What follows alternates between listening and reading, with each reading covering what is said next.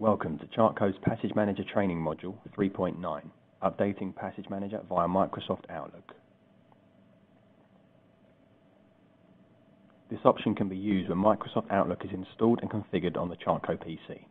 All data emails sent by Chartco can be automatically detected and imported into Passage Manager. All data request emails to Chartco are automatically placed in the Microsoft Outlook outbox ready to be sent during the next send receive. The main benefit of this method of data collection is that it is not necessary to drag and drop email attachments.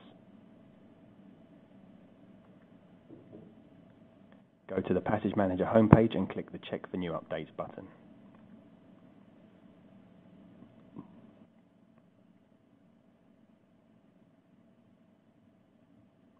Passage Manager will automatically check the Microsoft Outlook inbox for emails from oceandata2 at chartco.com before extracting, decrypting, and unpacking the Chartco data attachments.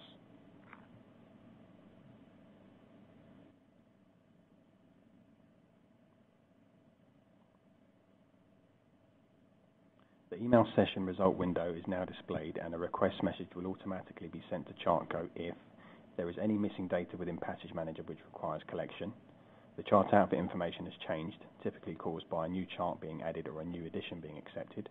The request specific data routine is run, or seven days have passed since the last SEM requested chart code was generated.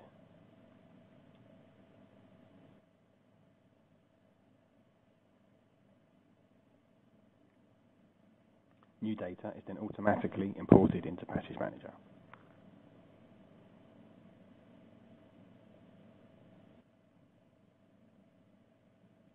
The process is now complete. Thank you for watching.